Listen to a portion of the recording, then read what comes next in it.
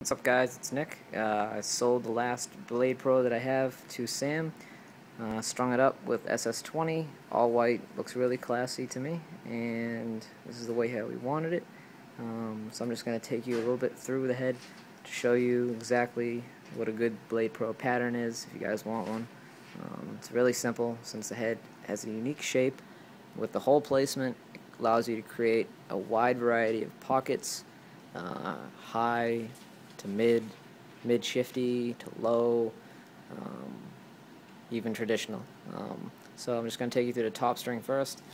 Um, I used to use a double wraparound style like you guys have seen in many of my other videos, but this head I decided to do the double wraparound, but it comes out, get you in a little bit of light, comes around uh, the front. So it almost looks like kind of like a Brooklyn Bridge uh, kind of like, you know, like the like the bridge top string. You know, I don't know. It's on the bottom. You can see the underneath where the regular top string is, but the string instead of going completely around it, it goes just to the front, just like a normal, uh, you know, three-string triangle top string. Uh, effectively, it doesn't really have any um, advantages. I don't really see the advantages of it. It just looks cool when you have two different color strings. This is all white, so it even looks even classier. So on the back, if I flip it, you can see what it looks like. Um, kind of gives you the impression of a horseshoe.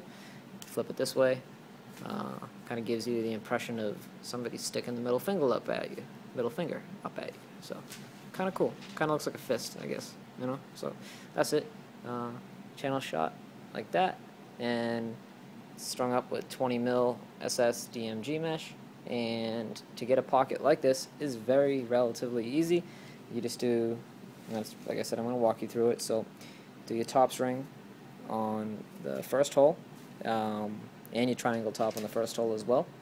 Uh, you just go down to your second hole right here. That's where you start. Wrap it around uh, your first string right here. SI well actually you just wrap it around so it's tight. Skip a hole. You're going to SI onto here your second onto that should, that should be your fourth hole. So one, two, three. That's your fourth hole. SI. Skip a hole. SI. Right here. It's kind of hidden. And then you skip another hole. This is going to be a really tight SI. And then you're going to do another SI.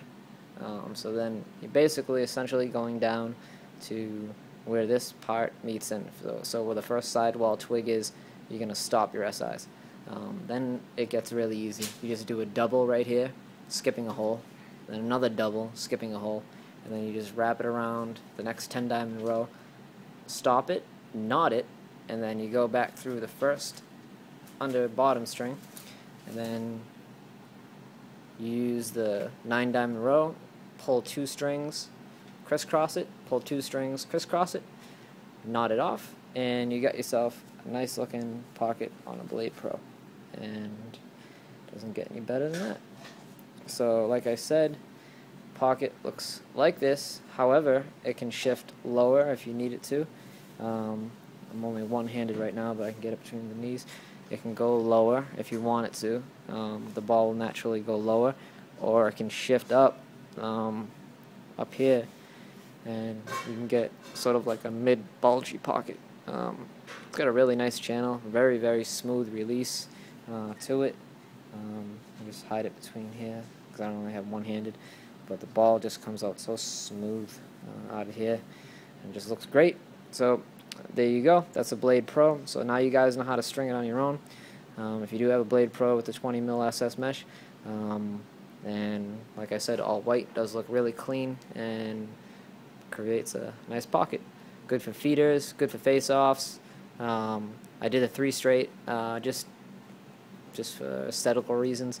You can put a 3DU and a 5DU in here, although it might create a little bit more whip for you. Um, if you do add a top nylon into the this row right here where my finger is, um, you'll get a lot of snap. Uh, that was in my old Blade Pro. Um, but yeah, so this one's going out to Sam. And yeah, so just going to throw that back there. The tag there. And that's the brand new Blade Pro with the SS20 mil DMG mesh on there. And yeah, gotta get back to gotta get back to waxing and stringing and getting all the other mesh done that I got to do. So, talk to you guys later. Enjoy the weather. Peace.